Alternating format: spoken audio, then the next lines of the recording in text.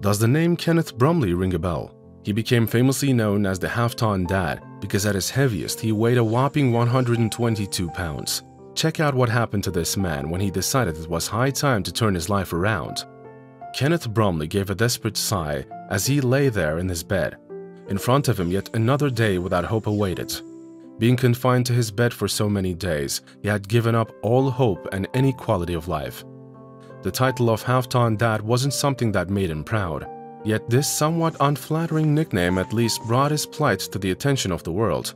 Born in 1968, Kenneth wasn't always morbidly obese. Decades of bad eating habits brought him to a point that many would describe as a place of no return. With the pounds continuing to pile on, his mobility gradually started to decrease.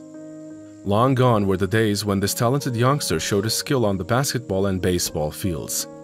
He had even tried his hand at American football and displayed some talent, but no one would believe it just by looking at him now. Where an average adult consumes around 30,000 calories in a period of two weeks, this was the amount Kenny ate every day of his life. Food had become the center of his existence. The less he could move, the bigger he became, and the more he found comfort in food. By the age of 36, this father of four had become bedridden. Over the past seven years of his life, he had slowly but surely began digging his own grave with his teeth. At the age of 40, Kenneth was certain to die of obesity. His heart could not sustain life in this oversized body. Although the people who loved him tried their best to care for him, there was no way he could be washed properly and kept hygienically clean. Nobody had the ability to flip his body over and try to wash him. In fact, this man did not have a proper bath for at least four years. In 2018, both Kenneth and his family reached a breaking point. It was clear to all of them that he needed help, and he needed it now. It took some convincing to get somebody to come and rescue him from certain death. It took quite a lot of planning to get a team of people together who were willing and able to get Kenneth out of his apartment and transport him to a hospital. Firefighters were the only people able to tackle this enormous task. The day when the rescue team arrived at this apartment, they were met with a situation they had never expected before. First responders are faced with many dangerous and life-threatening situations every day, but they never expected to find a fully grown man lying on the floor of a room that reeked of bodily fluids and excrement. At the time, Kenneth was weighing a whopping 73 stone, making him one of the heaviest people that ever lived. A 463 kilogram body is almost impossible to visualize. Kenneth was lying there on the floor. He could hardly move his head, but there was still a little bit of mobility in his arms. For the rest of his body, there was no way he could assist the movers to get him out of the jail.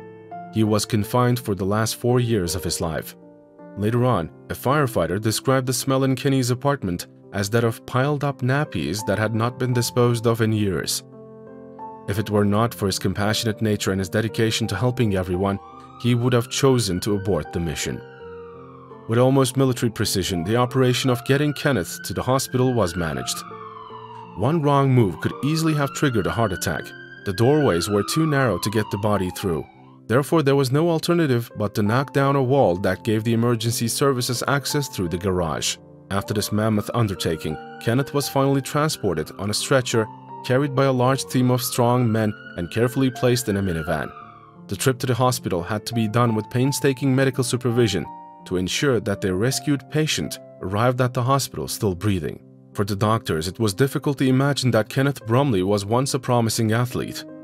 However, he was forced to leave his teams behind when he moved temporarily from Texas to California with his mother, and he swapped his obsession with sports for an obsession with food.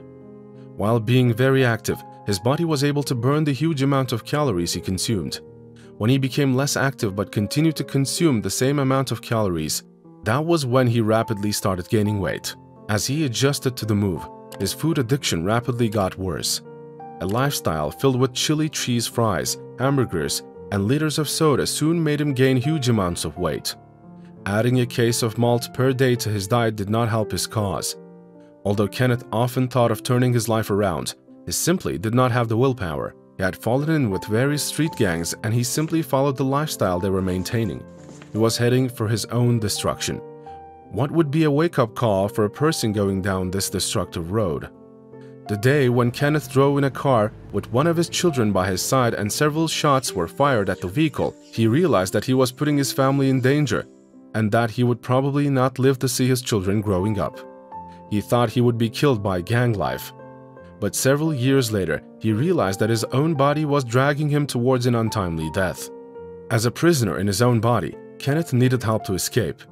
Fortunately, a famous bariatric surgeon at the Renaissance Hospital in Houston, Texas, was willing to assist. Kenneth understood that without making radical changes to his life, he might not have much time left to live.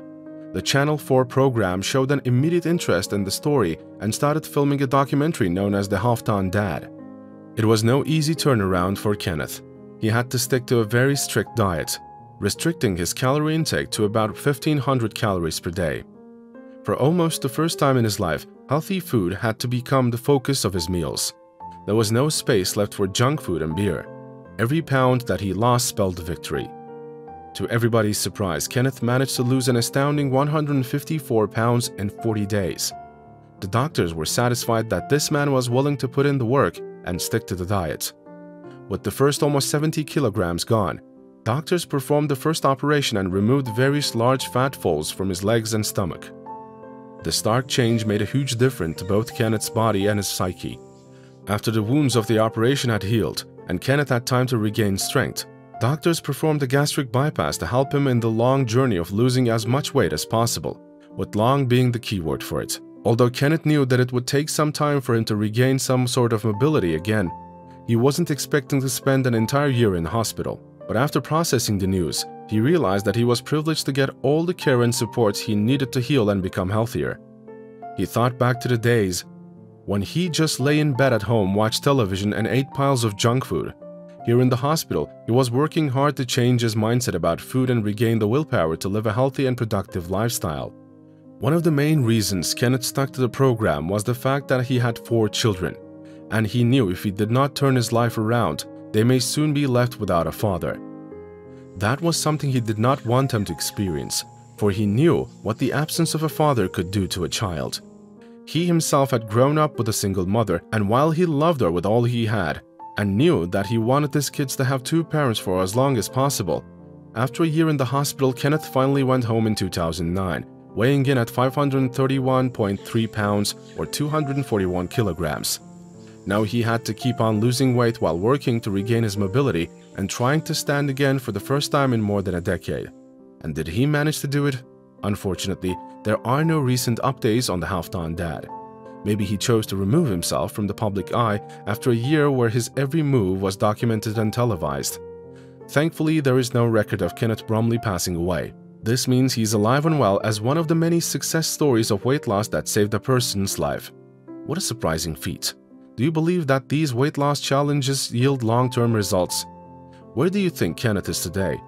Tell us in the comments below. Thank you for watching and see you in the next video.